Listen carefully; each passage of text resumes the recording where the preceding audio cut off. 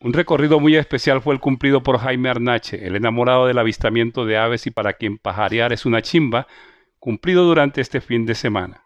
Estuvo acompañado por el actor y biólogo colombiano Víctor Mayarino y por el alcalde de Barranca Bermeja, Alfonso El Hach. Cuando decimos que Barranca Bermeja lo tiene todo es porque sentimos ese como un potencial gigante, pero también hay algunos aspectos que quizás no habíamos visto, como este avistamiento de aves. ¿Ese es un potencial para nuestra ciudad? ¿Tú crees que es algo en lo que podemos crecer? Este recorrido abre la oportunidad del aviturismo con grandes posibilidades, como Arnache siempre lo ha imaginado y como el propio alcalde El Haas lo dimensiona ahora con el apoyo de figuras como Vallarino.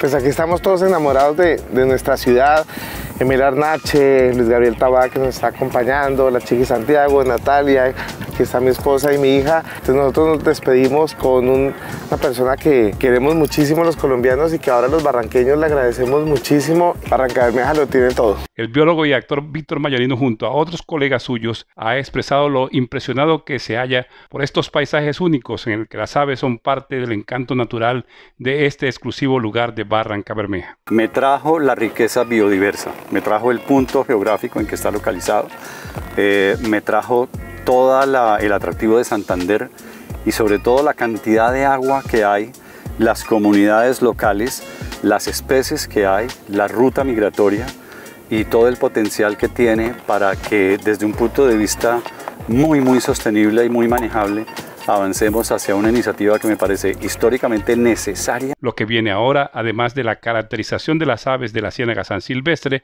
es un inventario total y una apuesta decidida por el aviturismo y el avistamiento de aves en este sitio único de esta zona del país.